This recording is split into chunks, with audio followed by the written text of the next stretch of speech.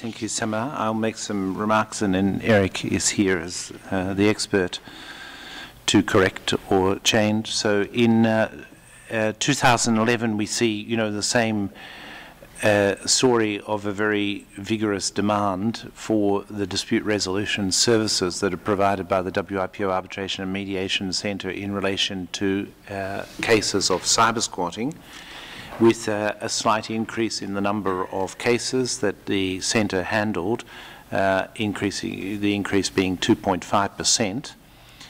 Uh, and overall, we had over 2,700, 2,764 domain name, internet domain name cases, covering nearly 5,000 separate domain names.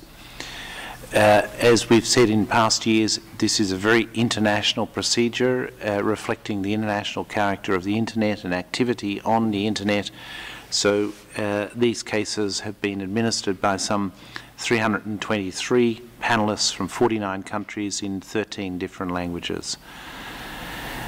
Um, two other comments I would make just by way of introduction. We are dealing with a rising share of uh, country code, top level domain disputes, CCTLDs. They're now 16% uh, of all of the disputes that are handled by the WIPO Arbitration and Mediation Centre. And our capacity to handle those is increasing with, for example, uh, the administration of cases relating to .QA, Qatar, and uh, and its Arabic script equivalent. The second comment is that uh, this year is the year of much activity in respect of the expansion of the generic top-level domain space. As you know, since January of this year, since January 2012, interested parties have been able to apply to ICANN, the Internet Corporation for Assigned Names and Numbers, for their own top level domain, dot whatever uh, it might be. The application procedures close in April of this year, uh, and then uh, there will open the possibility for other parties to file objections against the applications that have been made. Uh, and WIPO the WIPO Centre has been appointed by ICANN as the exclusive provider of dispute resolution services uh, uh, in respect of trademark-based objections to applications for new generic top-level domains. Uh, and so that is a procedure that we will be administering but watching with great interest as this expansion of the top-level domain space uh, unfolds in the course of this year.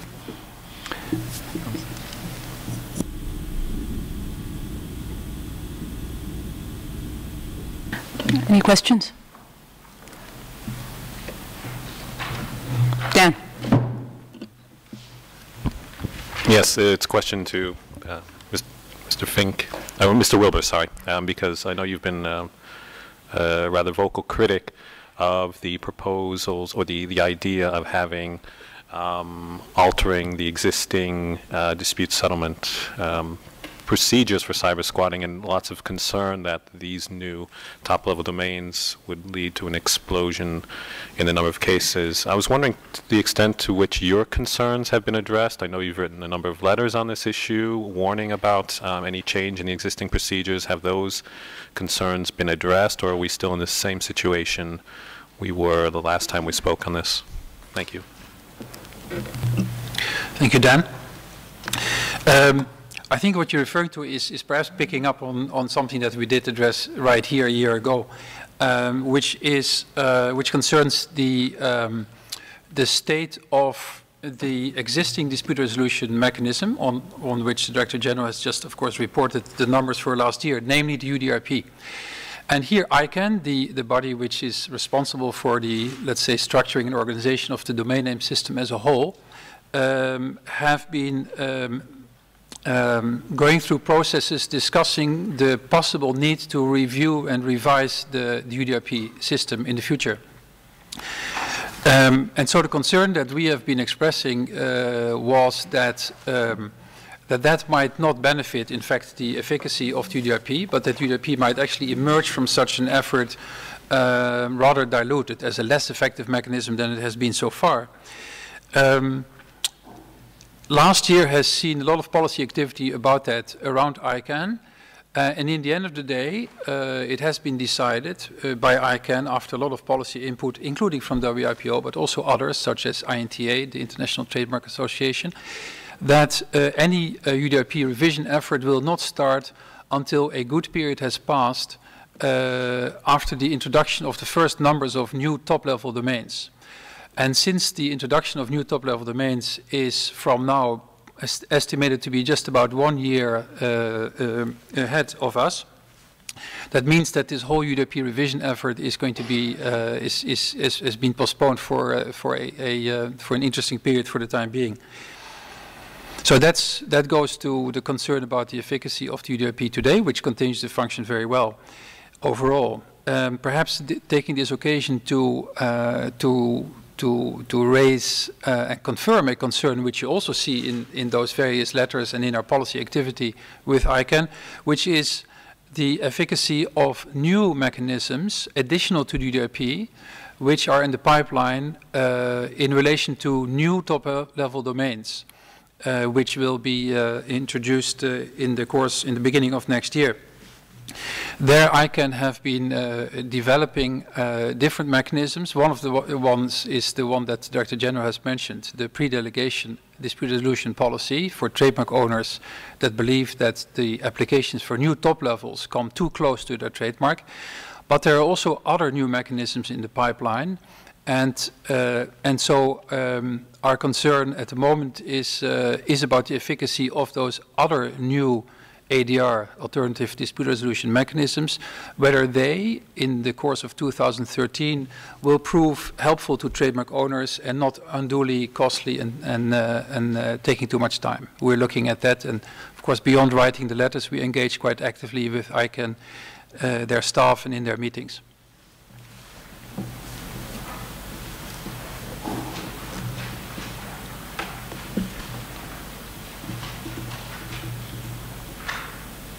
Go ahead. No, I also take the floor. Follow up. I just wanted to follow up on your comments, Mr. Wilbers, about the the alternative um, dispute mechanisms that are out there. Can you give an example of one which is of a particular concern? That you mentioned 2013, there might be an introduction of these, and who would be introducing it, and what okay. would they be doing? So, so let me maybe uh, roughly take you through the timeline which ICANN have been uh, putting out, and which you can find back on their on their website. Um, since uh, 11 or 12 rather January, uh, applicants um, can submit applications for new top-level domains, so new dot .coms to the right of the dot, um, which uh, which they would like to be operating in the future, and that period runs um, until 12 April. And I can tell you that from our information, ICANN have today received roughly 140, 150 indications of from parties that wish to to um, to let, let, me let me correct this here. Let me say this more precisely. Within this three months period, um, uh, applicants, uh, not all applicants will immediately be filing uh, their full application for top level domain, but they also have an early opportunity to to file an intent to, uh, to submit applications for top-level domains. And so ICANN, as of today, seem to have received something like between 140 and 150 of these pre-applications, um, which therefore within this period until 12 April would have to be transformed into actual applications for top-level domains. However, it must be understood that each one of those 140 or so pre-applications may be converted into up to 50 actual application for new top-level domains, top-level domains. So it's hard to do, the, to do the math on this because we do not know, quite simply today, whether, you know, which ones of those 140 represent only one future application and which ones represent up to 50. But this already means that we're looking probably at hundreds of new applications, uh, applications for new domains coming in. We will know about this in May, um, when ICANN will be publishing, will be closing, after closing the application window, will be publishing the list of applications that have been received. Um, we don't know today what that uh, will include, but uh, it's quite likely that there will be quite a few um, geographical applications in there. For example, cities trying to uh, uh have their operate their own top-level domain under the name of the city. There may well be a number of brand owners trying to take their own domain. Um, and there may also be uh, certain domains which probably come closer to uh, certain more generic terms, certain types of services, certain areas of business, certain types of products.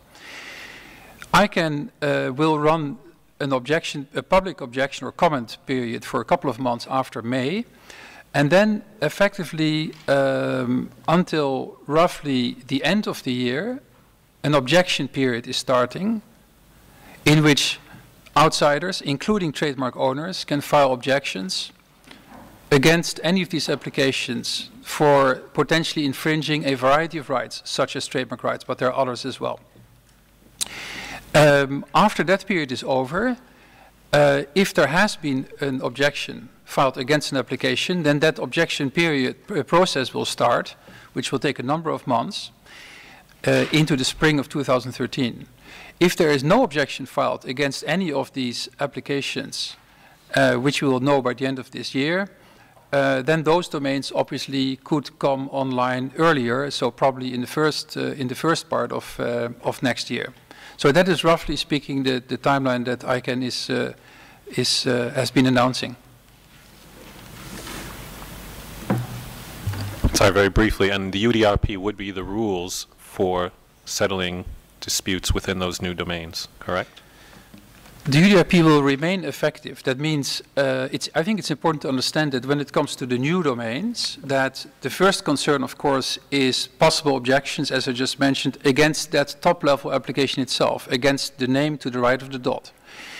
But once the domain has passed that hurdle, has passed the objection period, and becomes operational, then the attention shifts back, of course, again to registrations being undertaken by anybody third parties to the left of the dot. So X dot, whatever that new top level might be. Um, and for those second level registrations, the UDRP continues to function. And then on top of that, there will be one or two additional second level mechanisms.